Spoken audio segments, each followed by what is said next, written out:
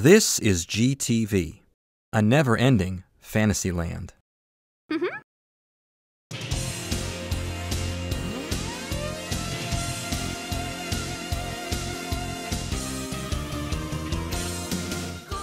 Across the farthest reaches of the Donacry galaxy, the Cosmic Hunters of the Cosmic Space Command are there to defend peaceful worlds from evil.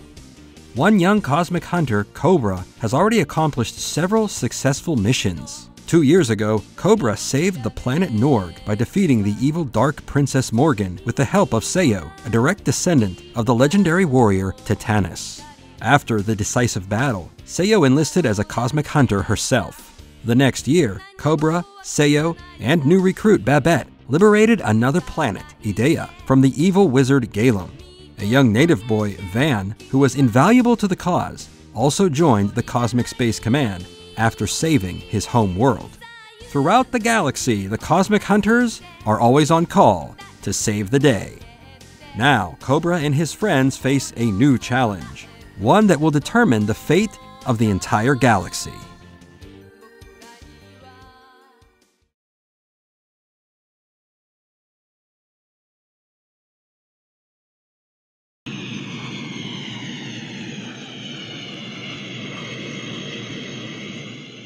Upon completion of his most recent mission, Cosmic Hunter Cobra and his ship, the Algernon, return to CSC home base. His assistant, Marley, and his AI module, Mother, finish safety checks and prepare for maintenance on the ship. Some downtime might do Cobra some good. Just then, a rustling is heard near the back of the ship. It's Nyan. Cobra asks what he's up to. Marley says that he's probably just returned from selling off junk, as he usually does. Nyan is upset by this characterization, and he asks the green Tanuki to back off. Marley says he's not a Tanuki, leading the two to start brawling in the cockpit of the ship. Cobra calls Sayo to come in and help break things up. Sayo says she knows just the right thing a quick magic shock. One burst of energy is all that's needed to settle things down.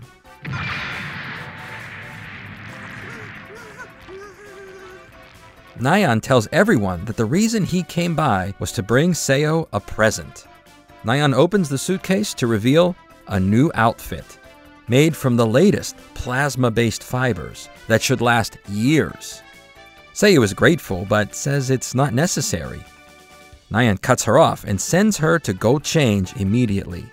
When Sayo leaves the cockpit, Cobra asks Nyan what he's really up to. Is it a scheme of some sort? Nyan replies, no, not really. Marley doesn't even give the merchant cat a chance to finish, demanding he just tell the truth. Nyan says, no, really, it is just to be nice, and gives Sayo something she would like. In private, Sayo tries on the new outfit. She remarks that the design is basically the same as before, but says new is new and is happy about it. She comes back and asks Cobra what he thinks of her new look. He says it looks great. Sayo is pleased to hear that, but tells Nyan that the top seems too small. It was an accident, says Nyan. The others don't buy it. Sayo shocks everyone in her anger and embarrassment. Meanwhile, in another section of the galaxy, the ship Nolandia is under fire. The ship's crew panics and tries to survive the oncoming surprise attack. The perpetrator, the space pirate Gedo, makes himself known and tells the Nolandia there's nowhere to hide.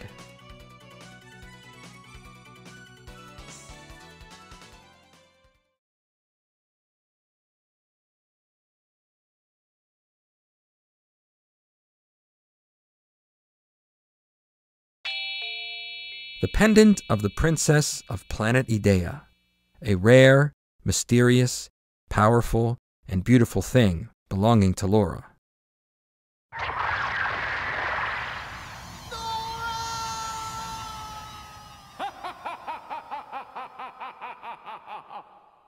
It was all a dream. Babette comes to bring Van some lunch and is upset that Van isn't grateful for having such a helpful partner. Babette takes a shower to try and clear her mind, but can't accept the fact that Van still thinks of Laura. Pico is hard at work analyzing data coming into the spaceship, the Little Fox, as it flies through space. Van looks out the window at the universe, wondering what will come next in his life after all that's already happened. Just then, an emergency siren blares. Robert relays the distress signal. Cosmic pirates are on the attack. Van hops in the captain's chair and takes off. Babette says, Wait just a minute, reminding Van that the little fox is her ship, and she calls the shots. Robert gives the coordinates section OXPK1. The ship heads there immediately. At the same time, Team Algernon has also been deployed to the same area. Commander Tokita gives the orders to join up with the little fox, who will arrive at the same time. Cobra relays. Check. The Algernon is on its way. At the scene of the disturbance, space pirate Gedo asks the captain of the Nolandia of the location of the recently discovered treasures on the far off planet Zola. The captain says those treasures are priceless and will never hand them over. Very well, the pirate says. Get ready to feel my power. With that, he orders to lock on the target and attack with full firepower. The crew prepares as the laser beam charges. Prepare to fire. Just then, Team Little Fox flies by, knocking the turret from its position, saving the spaceship Nolandia. What happened? says Gedo. What is that? The first mate informs him that the cosmic hunters are here. The space pirate replies with one command attack them. On the Little Fox, Babette, Van, Pico, and Robert argue over what to do next. Van says attack the pirate ship head on. Babette says, no way. It's far too dangerous. It's best to rescue this ship and escape, since they are outmatched right now. Robert warns that three missiles are headed this way. Babette views the radar. The only way out is to somehow steer the missiles away. She maneuvers the little fox into a weaving pattern to throw off the missiles as they get closer. Van and Pico count off the distance remaining until impact. With the missile just 20 meters away, they collide into each other, exploding close enough for the ship to feel the heat. Gedo can't believe what he sees. How could the missiles fail? Just then, Team Algernon arrives to provide backup. Cobra tells Gedo that now that he has arrived, victory for the Cosmic Hunters is the only outcome. The first mate asks what to do. Gedo says, Don't be stupid, run! The two CSC teams recognize each other in all the chaos, with Babette thanking Cobra for coming to the rescue yet again. Nyan asks if his son Pico is alright, to which the younger cat affirms that he's fine. All seems well as the incident ends without injury to anyone. On the escaped pirate ship, Gedo sets a course, straight ahead, for the planet Zola.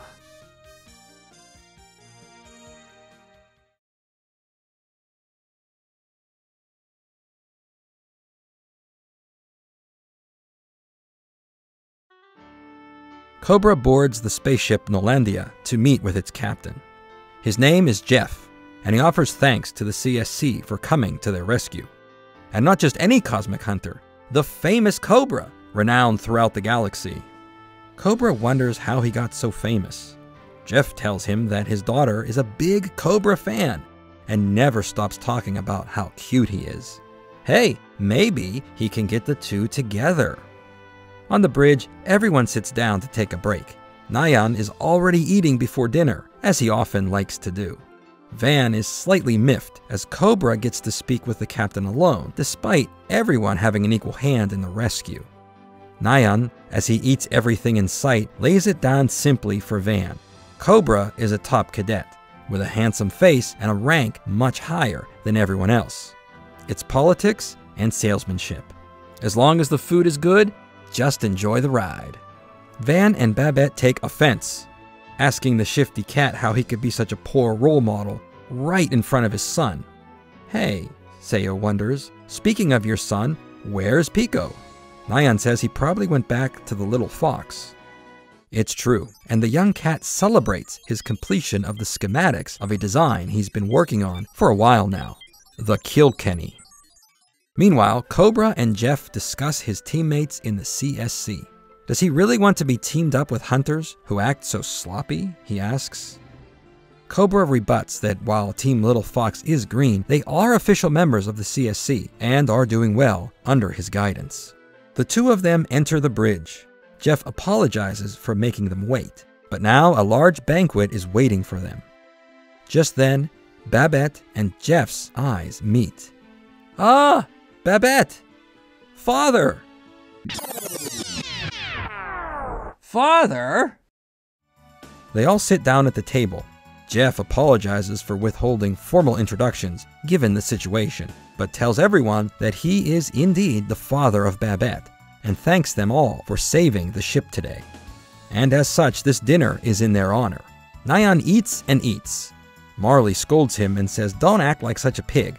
To which Nyan replies, Eat up or go back to the ship. Sayo remarks that she had no idea Babette was related to the president of the Nolandia Trading Company.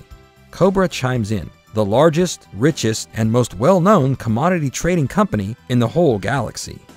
Jeff laughs and says, Well, I don't know if it's that big. Van says to Babette that she doesn't seem like she wants anyone to know who her family is. Babette replies, That's because I don't. Jeff asks Babette to introduce her team members to him, and so she does. There's Sayo, navigator of the Algernon, a shifty merchant cat, Nyan, Cobra's motorcycle, Marley, and Van. He's still in training and is the assistant on the Little Fox. Jeff asks, You mean that this boy stays with you on the ship alone? Jeff drags Van by the chair to another room, asking to have a word with him. Hey, Dad, what's the problem? Dad? Don't call me Dad. Have you been messing around with my daughter? Of course, it is every father's concern. Van shakes his head meekly to say no. Are you sure? Babette enters the room to ask what's going on in here. Oh, nothing, they say. She insists they hurry back as the food is getting cold. After she leaves, Jeff presses the issue once again, and Van swears that they are just partners. They rejoin everyone, acting like the best of friends. Cobra asks Jeff if he knows exactly why Space Pirate Gedo attacked the ship. Babette says it seems strange, as the ship doesn't have any cargo on it. Jeff stammers and finally lays down a small, rather unusual looking box. The legendary treasure of planet Zola. Father? Is it real? Of course it's real. Nyan asks to hear the whole story behind this mysterious treasure. Jeff hurriedly tells Nyan that, of course, he knows it's impossible for humans to set foot on the distant planet because the special atmosphere creates a barrier preventing entry. Sayo and Cobra discuss what this means. Essentially, it's a dense stratosphere, like a shield. Any spaceship that tries to enter will destroy itself. Yes, of course, Jeff adds, but I have a special technology that cost a lot to develop, but can withstand the pressure. And because of that, I was able to procure this treasure. And from that, says Babette, Gedo caught word of this and came after you. But what is it? Just a box? Jeff laughs and says that this is just a protective case. The real treasure is inside. Jeff opens the box, and everyone witnesses the rare treasure firsthand. Nyan doesn't see what the big deal is, saying it looks just like a plate. Jeff says that the reason it's called the legendary secret treasure isn't so much because of its monetary worth, though its historic value is through the roof. So, what does it mean? What are these markings? Nobody knows. Sayo suddenly feels out of place, in another time. There she stands on a barren world far away. Her name can be heard in the distance, calling her. Suddenly she comes to and pleads to Cobra, please do not go to planet Zola. Nyan says, We have the treasure, so why even go back? There's no need. Maybe so, says Cobra, but it's still worth it to let Mother run an analysis to see what information she can glean from it. Babette begs her father to lend the treasure to Cobra for just a little while. Of course, he says, anything to learn more about it. On the Algernon, Mother scans the writing on the treasure to determine what language it is written in. While waiting several hours for the analysis to complete, Babette and Van talk about how much nicer the cabin of the Algernon is compared to the Little Fox. It seems that no matter what little thing they discuss, it always leads to a fight. In the heat of the argument, Babette falls on top of Van. Nyan comes in and asks what's up, only to see what he sees, and then leaves. No, it's not like that. Nyan tells Jeff what he saw and is furious that his daughter's honor would be compromised.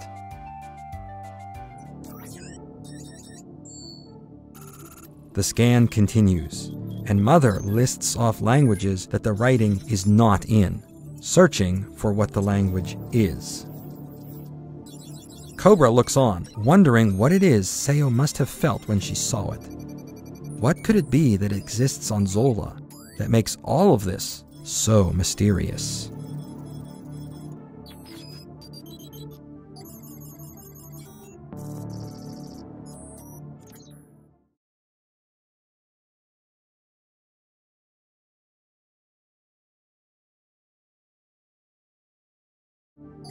Mother continues scanning all known languages in the universe to determine the origin of the hidden treasure of the planet Zola. After several hours, the scan is complete. Mother reports that the language written on the golden plate matches no language on file. Sayo begins to apologize for her behavior before, when planet Zola was brought up. Before she can finish, Marley comes in telling Cobra that he has seen the writing on the plate before. Cobra asks, Where? Marley can't remember clearly. Mother begins a data link between her and Marley. What the readout provides is surprising an image of a sword. Cobra remembers it well the Grand Caliber, the sword which was handed down from the legendary hero Titanus through the generations to Sayo, that was wielded to defeat the evil Morgan, saving the planet. Sayo asks, Why does the sword have this language written on it? Cobra is uncertain, but he must find out why. He contacts Commander Tokita, head of the CSC, and relays the information. Cobra asks if he may take up the duty to learn more. The commander says he sees no reason to deny the request, to which Cobra thanks him sincerely. The call ends, the monitor goes black. In silence, he remarks how Cobra and his spirit remind him of his youth and his own team from those days gone by. Meanwhile, space pirate Gedo is on the way to planet Zola. His first mate informs him that the spaceship Nolandia has left its current position and is also heading for Zola. Gedo gives the order to cloak the ship and follow closely once the cosmic hunters are near.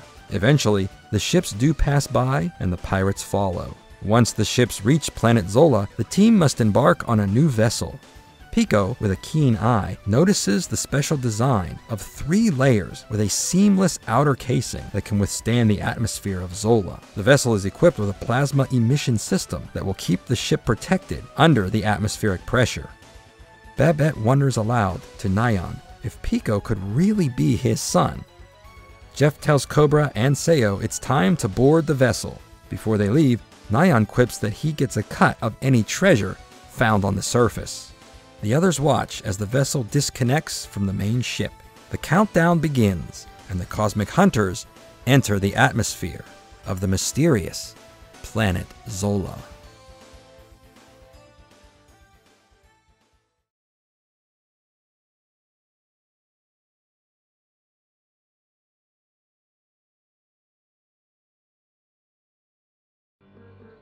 As the ship pushes through the dense atmosphere of Zola, the ship shakes under the gravitational pull. 60 seconds remain until surface impact. The plasma system initiates. Suddenly, the ship stops shaking and cools down as it reaches the planet's surface. Sayo remarks how beautiful the planet is. It's like nothing ever seen before. Cobra says that something must have sent Sayo a telepathic message through the plate. Sayo replies that the vision was nothing like we see here, but if it's a dangerous place, she always has Cobra to protect her. Jeff interrupts. Should we land now? Right, says Cobra. Let's find a safe place to land. After touchdown, Jeff says, let's go. Cobra asks if it's fine to just wear regular clothes. No spacesuit? No preparation? Jeff laughs and says he's been here before. He knows it's safe. There's not a single thing that's dangerous here. With one step on Zola, Jeff finds himself abducted by a strange alien creature. Jeff cries for help, Cobra and Sayo jump off the ship and attack the giant monster with laser firepower and magic bursts. One shot from Cobra's blaster severs the monster's tongue, freeing Jeff, who falls to the ground. Cobra yells out to Jeff to get to a safe place as fast as he can. Cobra takes aim again at the eye of this alien beast, but the monster comes closer, using its long neck to strike at Cobra, who gets out of the way just in time. Sayo sends off a blast of her signature spell, Boltane. A miss! The monster uses its massive tail to swipe at Sayo, knocking her to the ground. Cobra rushes to her aid as the alien hovers above. Cobra asks Sayo if she's fine. All she can say is that she's glad Cobra isn't hurt at all. She begins to apologize that she. The monster screeches! With no time to talk, Cobra makes a final stand against the alien, knowing he must fight with his all or perish. Summoning all of his energy, Cobra emits a powerful blast of psychic power, sending a shockwave outward at this giant beast. When the energy makes contact, the alien explodes, with nothing left behind. Sayo says she's sorry. Her attacks did nothing. Cobra says it's no problem, but that it's time to head back to the ship. He wonders how Jeff is and tells Sayo that she might need to change before venturing further. For the meantime, Cobra offers his jacket. Back at the ship, Jeff is fine, but very shaken. Cobra tells Jeff he needs to tell the others about this monster while they take a rest to recover from the battle. On the spaceship Nolandia, the others are shocked to hear what has happened. Cobra says he will need some more time to investigate what this mysterious planet Zola is all about, and if this monster sighting is an isolated incident or a common occurrence. Unbeknownst to the cosmic hunters, space pirate Gedo is listening in on their conversation.